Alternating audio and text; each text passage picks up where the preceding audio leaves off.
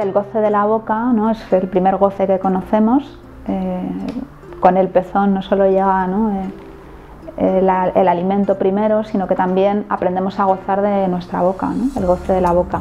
Entonces ahí queda inaugurado ya el goce oral que llamamos, ¿no? Y eh, desde luego que después cuando ese goce oral no tiene puntuación, porque el problema, el goce oral no se va a perder nunca, incluso la gente que niega su gusto por la comida, ese rechazo también es una manera de, de goce, ¿no?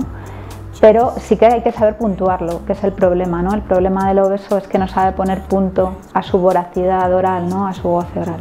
El humano es paradojal y es contradictorio, ¿no? Allí donde, donde se produce un fenómeno se produce el contrario constantemente, ¿no? A, pesar de la preocupación por la imagen, de la sobrepreocupación por la imagen, pues hay mucha gente que padece todas estas cosas que estamos diciendo, que padece neurosis de angustia o que para él el alimento es todavía mantener esa relación con la madre a pesar de que la madre ha muerto hace años o eh, mujeres que no quieren mostrar sus formas femeninas, todas estas eh, problemáticas que hemos señalado, o a, veces es el Benjamín de la casa, el pequeñito, y siempre le dejaban el mejor filete para él, ¿no? y era eh, el mejor cuidado desde el punto de vista, mejor cuidado entre comillas, ¿no? porque antes sabemos todos que la obesidad fue un signo de salud durante mucho tiempo y que eso también está en la ideología popular. ¿no? Es muy difícil despegar ¿no? la, la salubridad, está rozagante, ¿no? está sano, está regordete, ¿no? pues eh, no, no es un signo de salud ¿no? la, obesidad, más bien lo contrario. La obesidad es un problema que generalmente el, paciente cuando llega a la consulta, a nosotros nos consultan mucho, por eso o como, como parte del tratamiento, ¿no? el tratamiento psicoanalítico es un apoyo al resto del tratamiento médico y a veces es lo más fundamental, es decir, pacientes que han hecho muchas dietas y que no consiguen bajar de peso y cuando añadimos ¿no? el, tratamiento de los factores psíquicos en juego se soluciona la situación.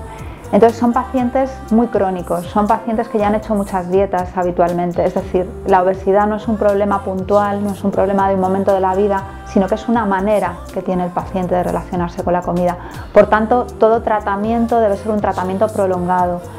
Eh, en general las dietas milagro, como cualquier cosa milagro, son cosas que eh, se pretenden hacer sin ningún trabajo o con el mínimo trabajo. Y las cosas que se pretenden hacer sin trabajo o con el mínimo trabajo generalmente no dan resultados a largo plazo y eso tenemos que saberlo.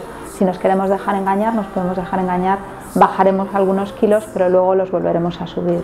El, peso no es solamente una cuestión de imagen, que también, porque la estética es importante y la percepción corporal que tengamos de nosotros es importante y impacta directamente en, nuestra autoestima, aunque no sea lo más importante, es una, parte importante. Pero aparte de la estética está la salud, ¿no? Y tenemos que tener en cuenta, como hemos dicho antes, que la obesidad trae un montón de problemas asociados y trae comorbilidad y trae otras enfermedades.